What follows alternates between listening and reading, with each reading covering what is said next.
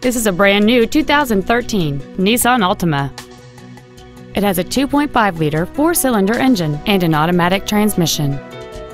All of the following features are included. A low tire pressure indicator, a power driver's seat, full power accessories, a security system, 12-volt power outlets, front and rear floor mats, rear impact crumple zones, traction control, air conditioning, and a multi-link rear suspension.